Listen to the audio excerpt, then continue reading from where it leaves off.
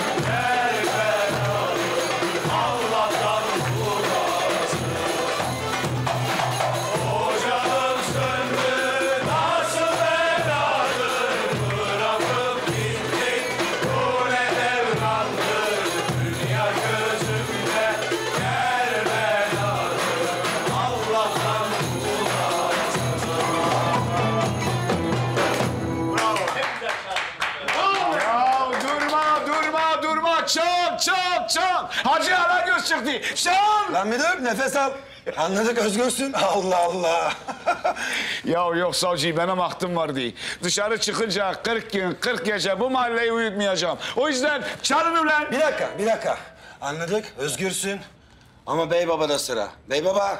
Vallahi nasıl olacak bilemedim. Benim hiç umudum kalmadı. Cemre'nin başına gelenlerden sonra. Ya biz neleri oldurmadık. Adaletin borcu var sana. Unutma. Hiç. Ya bundan sonra senin yiyeceğin tek acı... Aha budur. Al babam.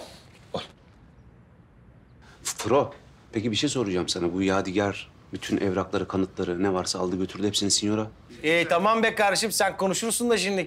Artık'ın firari Fırat yok yine be. Artık'ın savcı Fırat var değil mi savcım? Aynen öyle. O şerefsiz ne kadar suç işlediyse hepsini ortaya çıkaracağım. Hatta bey baba için onun evine kadar gireceğim. Ya bırakın o şerefsiz nerede ne yapıyorsa yapsın. Biz keyfimize bakak. Çal babam çal.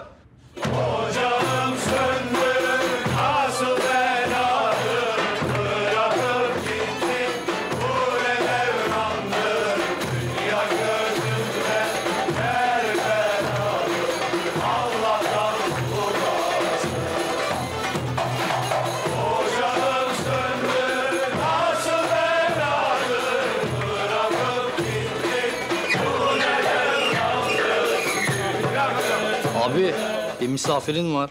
Misafir kimdir oğlum? Efkan Dağlı. Afgan sanıyor. Sana geçmiş olsuna gelmiş. Ne bak savcı? Bırak gelsin bakalım derdine. Bey baba. İçeriye geçin. Açık vermeyelim. Bakın abi. Babam sizin de ağzınıza sağlık. Siz de geçin içeride dinlenin. Bizim